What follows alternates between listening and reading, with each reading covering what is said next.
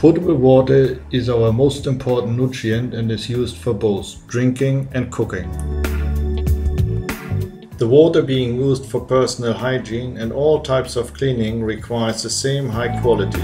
It is therefore important to have enough water of satisfactory quality to cover all types of usage. Water can contain hazardous elements that can be divided into two groups. Microbes that cause infectious diseases or food poisoning, such as bacteria, viruses, and parasites.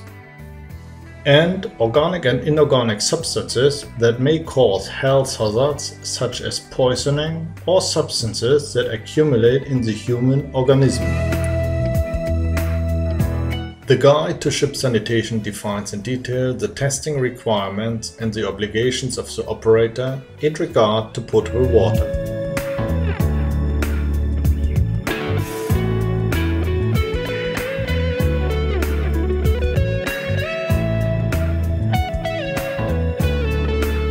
By far the greatest risks in drinking water are associated with microbiological contamination from human excreta sources. Recommended parameters to be monitored include E. coli and coliforms, disinfectant residual, corrosion-related contaminants, turbidity and color, heterotrophic plate count, and aesthetic parameters. The ship owner's duties are Provide a safe water supply fit for all intended purposes, Ensure that the water on board is kept clean and free of pathogenic organisms and harmful chemicals. Identify and assess sources of the risk. Prepare a scheme for the prevention and control of the risk. Appoint a responsible person on board your ship. Keep records and implement and manage the scheme for measuring and monitoring. This all is summarized in a water safety plan. Key elements of the water safety plan are System assessment, operational monitoring, management and communication. To do the system assessment you will find step-by-step -step instructions and examples of filled-in tables in the CMT reference guide provided with the potable water test kit. Please fill out the relevant tables provided for inventory of water systems,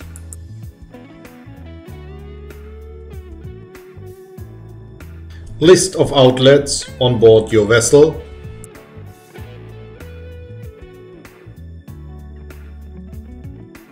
identification of hazards on board your vessel,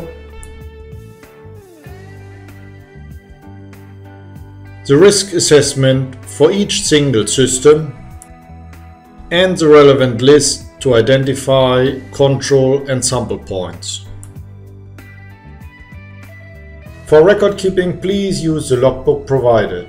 It is important that the logbook does include control measure and limits.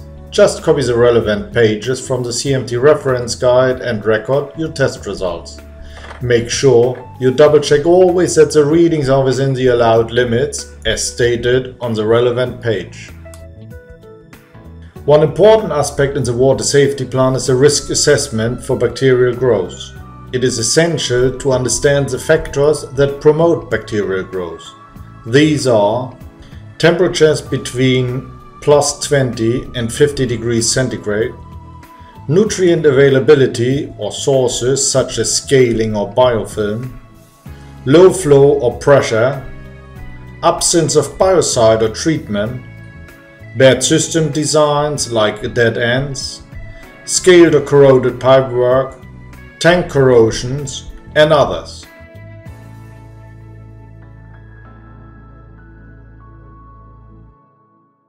A key element in the potable water management is testing. CMT Potable Water Test Kit is a comprehensive, easy to use analysis kit for shipboard use. In the next section you will learn when, where and what should be tested. Let's first look into what should be tested.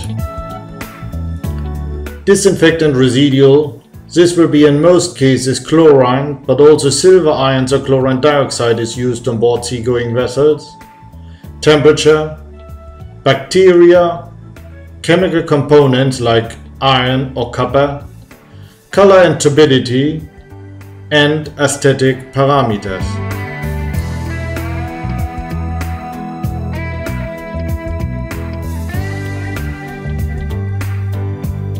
Let's now look into when you should test your potable water.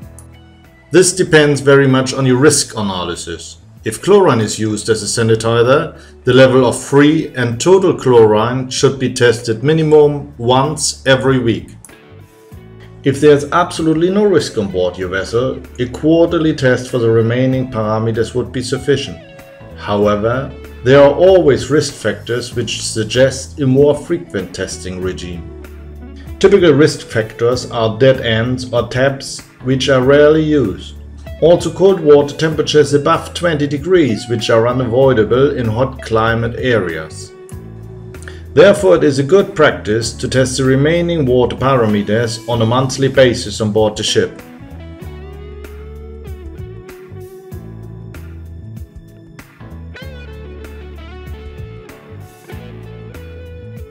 Let's now look into where you should test. Where are the recommended sampling points on board your ships for the potable water? Bacteria like Pseudomonas and Enterococci are tested in hot and cold water tanks, so you just need to sample from these two locations for these bacteria. Coliform and E. coli bacteria are tested only in cold water. Sampling points are all storage tanks, the furthest outlet and one outlet in between at random. All other parameters are tested in hot and cold water at the same sampling points. This will result in a minimum of 6 samples, one at the hot water and one at the cold water tank. Third and fourth sample from the hot and cold water tap at the furthest outlet and two more samples from a tap at random in between. For testing procedures, please follow the detailed instructions in the manual provided. To summarize, potable water monitoring is essential for a good water quality on board ships. The Guide to Ship Sanitation defines the specific needs.